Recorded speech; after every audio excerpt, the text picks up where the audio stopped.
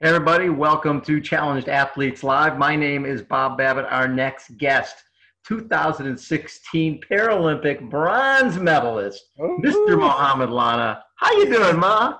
Good, good, good, and you? Everything is awesome, bud. Everything is really, really good. I see you got some nice drawings behind you. Oh man, we're yeah. going all over the house now. I was gonna say, how are you guys powering through uh, the craziness that's been going on? Oh man, so I have three kids, and uh, during school time, it's very hard to wake them up for school. And now, like 6:30 a.m., they are up. I don't know how this is working. so before you couldn't get them up for school. Now yeah. they're like up before the sun comes up. I don't know, like every day. that is so wild. So Mohamed, growing up in Morocco, yeah, and knowing that uh, you were knowing that you were different, right? You're missing your femur on one side. What? When did you? When did you realize that you know I'm, I'm not the same as the other kids? Yeah, and how did the other kids treat you? Well, so uh, like in Morocco, we play a lot outside. Like we just yeah. go open the door and we start playing soccer all the time. And I start I start to hear in this word, which means disabled in English, um, like when we lose or I don't do good move or something like that. And sometimes I will start crying and go go home. Yeah. And that's happened so often. My mom just starts sending me back. She will not comfort me or anything. She will just deal with it go back and i think this is where i realized that i'm different and uh, i had to cope with it with time. So kids sometimes are nicer sometimes are not. So just, just like if they're winning uh, they're very happy and nice. If not they blame yeah. somebody. So early on i remember you, mom and dad were basically just taking you to the local shoemaker yeah. right? To basically because you're, you're your little your two little legs and at that point they would put a little heel on the bottom of the leg that wasn't that had didn't have a femur on it, right? So that yeah, you even you out so that you can play yeah. with the other kids. So yeah. when did it get to the point where there are all these different foam heels on the bottom? It got to the point where okay, this isn't going to work yeah. much longer. So I was I was very active and I I go outside and run a lot. So my parents every time they would take me to the shoemaker, and he add whatever foam of layer has it around. So I end up with different colors, like from pink, blue, purple, anything, whatever. And then uh, as I'm growing, the the heels starting to get like uh, higher, and like I I fall a lot, I break them a lot. So it got to a point where it just got too expensive, and my my parents switched me to crutches. So, so I don't remember exactly. Yeah. Yeah, but you're so you're playing sports on crutches. Yeah, yeah and uh, for soccer that works okay. Uh, when did you find endurance sports? When did you f- figure out how to ride and how did you ride a bike early on? Oh so uh, so i used crutches for like good six years. And then i went to this um, elementary school which is has only uh, kids with disability. So all the elementary school only kids with disability. And they also they have like this artisanal shop where they make us prosthesis right. and i had like for all my elementary school and um, middle school i have this leg made of wood and bar of aluminiums and leather. And it was just straight to one piece. Like i couldn't like i couldn't bend. It has no knee nothing. Right. So i had that like for all the way through through high school. And how did you was, how, how did that connect to your to your to that one to the to the bad leg? Did you strap it on yeah, so it's like has a sh- it's like a little shoe made of leather, and they have extension with with aluminium bars going from the top all the way down, and they have this piece of wood that have a foot, and the rest is lithofoam. So it was like very like mid-age leg, but it was working. Yeah. it's like the rat. yeah, wow. I, I had this I had this for a long time, and until so I couldn't cycle with that or anything. I would watch. I would just watch kids cycle uh, like in my neighborhood. Yeah. And I remember because I couldn't cycle and I didn't have bike, sometimes they will let just me let me do downhill or the kids will push me uphill just to be like you know, because like in this neighborhood, not everybody has a bike. Like one kid had a bike, and we had to rotate, and he was so nice to us. So yeah, so um, the first time I rode my bike, it was was when I was 24 year old. Yeah. So, 24. Yeah. That's the that first the time first you rode a bike. Yeah, the first time. Yeah. So that was the first time I had my a leg with with with the articulation. Yeah. So getting that leg, that that that basically opened up the whole world to you. Oh man, yeah. It's it's it, so so the story behind that leg yeah. is uh, yeah so my dad is a taxi driver in casablanca and he always tried to like find solution for me and somehow he ended up with this guy talking about this um, french uh, uh, service that they have in casablanca that's only for veteran right and we went there and we asked and they say we don't make legs for uh, people but once in a while we have this this uh, training um, like uh, training camp for uh, to educate the local prosthetists. Uh-huh. So they bring an expert from France, and this guy came and they invite us to to have people to make legs for them. So it was a win-win. So it's free for me and for them to learn how to make a leg.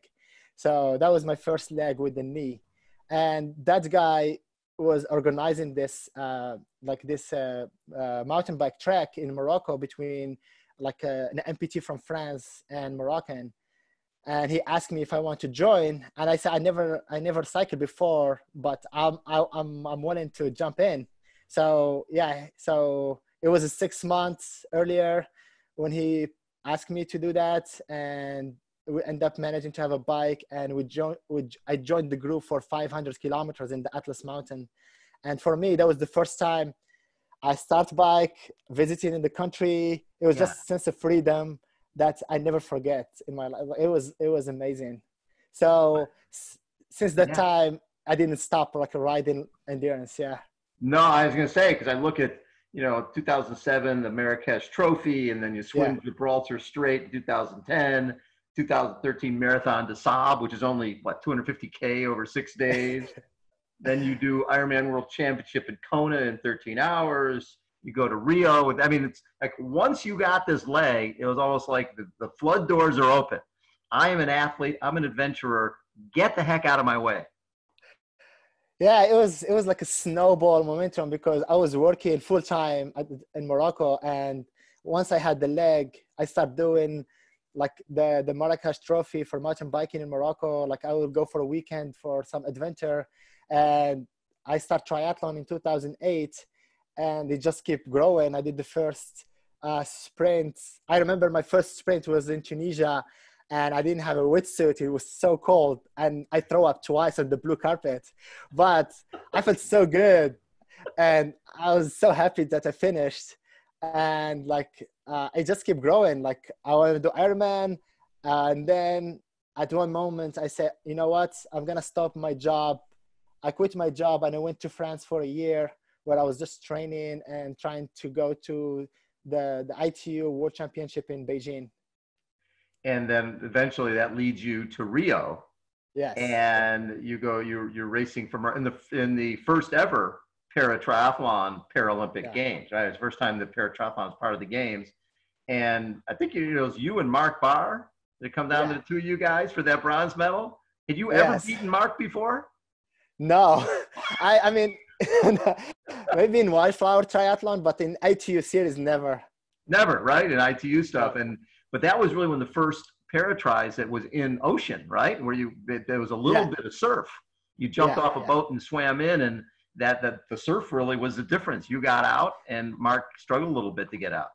Yeah. So what's happened is I was watching the able body uh, like racing. It was in the same venue, and I watched. I think Henri Schoeman or somebody was gliding like at the exit using the waves. And I say, wow, that must be like, that must be an advantage to use. And I know a lot of people were scared of the water quality, so they didn't do any open, like they didn't any training or anything.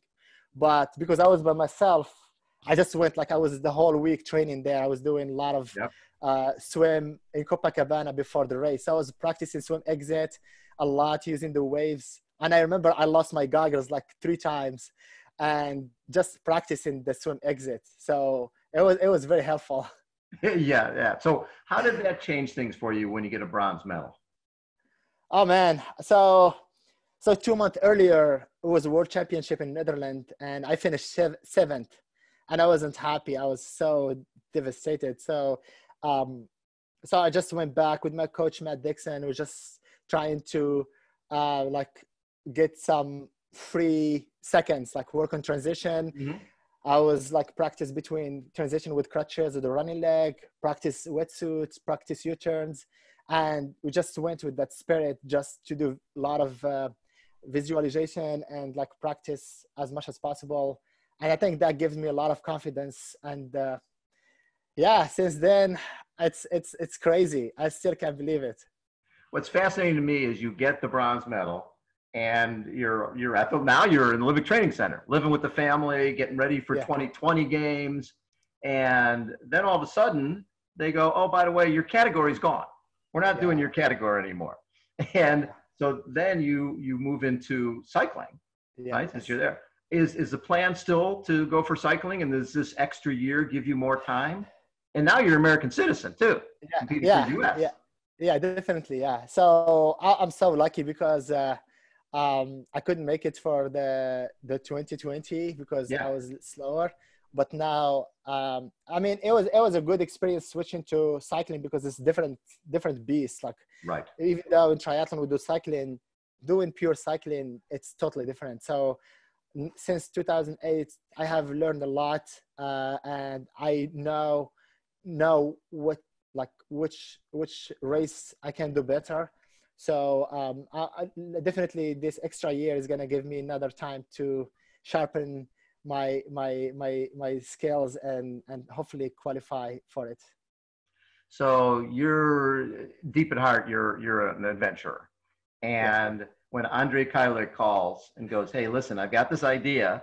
We're going to go from the lowest part of uh, South America to the highest part of South America. In. It's going to be me." a guys who double above knee amputee, and it's going to be Lucas onan who's uh, got a, a dealing with an arm issue, and yourself. And you know you're going to finish going up Aconcagua, which is only what two twenty two thousand eight hundred forty one feet. Yeah. And it wasn't long from the point I heard about this to, to okay, we're leaving. I mean, did it seem like it just happened quickly? Uh, so uh, for me, it's just like it's been a long time. I didn't do any long distance stuff. Yeah. Since I was like, yeah, just doing triathlon sprint and then cycling, like just the kilo. So for me, it just like ignite that flame. So when he say we're going for six weeks, I told my wife, oh, I'm going for this adventure for four weeks somehow like that. So I just tried to sell it uh, and uh, to her. so um, I mean, like I was I was worried about the bike because I know I didn't have the like it's been a long time. I didn't do that that that long like we did like 2,500 kilometers in 14 days in a gravel bike and it was it was crazy. And sometimes we had to ride like all the way to midnight yeah. and we had all sorts of adventure there like I mean and then the mountain I have no experience in the mountains. I never climb mountains and like even like the gear the mountain gear i didn't see it until we landed in argentina. I didn't try the shoes i didn't try the gear anything. I was just going okay let's do it. Let's see what we can do. Uh, the, the mountains was was very very challenging. I was the first one got hit by by mountain sickness. Yeah. So i was throwing up headache nausea. And i would wake up in the middle of the night throwing up and my also my nose bleeding. It's so miserable like some nights but uh, it was a very good uh, team. We had we, we were supporting each other, and we were playing it day by day. And yeah, we made we made it to the top. Twenty-two thousand eight hundred forty-one feet for a guy who's never been up. I mean, you were in Colorado dealing with some altitude, but twenty-two thousand—that's a different. Yeah. It, it, totally oh, yeah. So, what has CAF brought to the table for you? What has CAF meant to your life?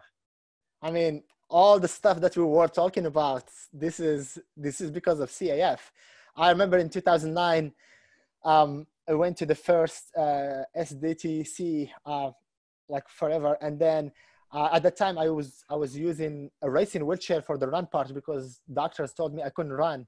Right. And and and so and, and like the the day before it was the first time i i i watched the the run clinic for the kids and for me that moment it's still stuck in my mind like seeing all these kids with these tiny blades running and having fun and happy. It's like it's so heavenly like i still remember the day. And then i was so i had the, the chance to talk to sarah and i told her like i want to run but the doctors told me that i couldn't run. I have pffd blah blah blah. I say yes i think you can run um, I said, but you don't understand. I have a PFFD. Say, I understand. I have a PFFD too, and I can run. So I, it's still like that conversation was still like I still remember it very well in the middle of the field with Sarah. So since that time, I mean, I end up doing the the the, the running leg on my wheelchair, but I moved back home to Morocco and I applied for the grant and I got my first running leg, and it was just crazy since then. Love it. Okay, Mohamed, now we're moving into rapid fire. These are quick Woo. questions. Best CAF memory?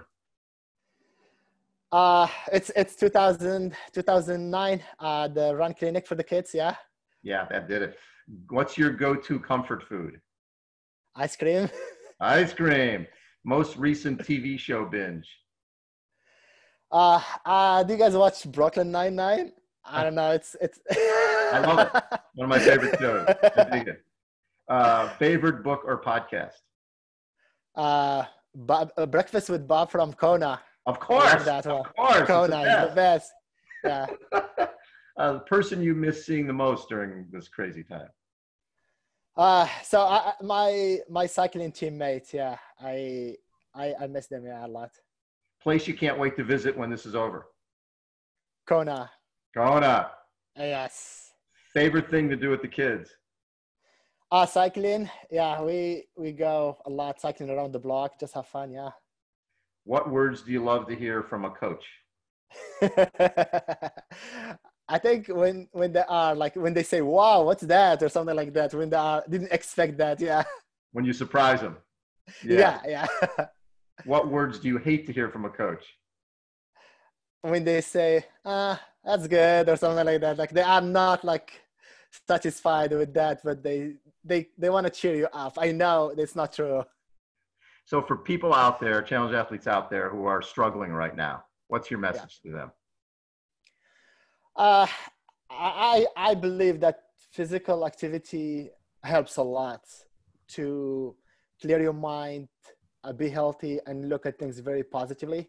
Uh, whatever level, what, whenever the level, like just walking around the block, uh, just, I mean, I don't know, anything that can start to make you active uh, it will it will change your mind. I, I, myself, I've been athlete all my life, and if I stop or if I'm in a good bad mood, I will go for a run, 20 minute run, and I will just be happy again. Just do something. Yeah. Love it. Mohamed Lahna has been our guest. Mohamed, thanks for being such a great part of our CAF family, my man. Love Thank it. Thank you. Again, Challenged Athletes Live. My name is Bob Babbitt. Check us out. Thanks again, Mohamed. You are the best. Thank you, man.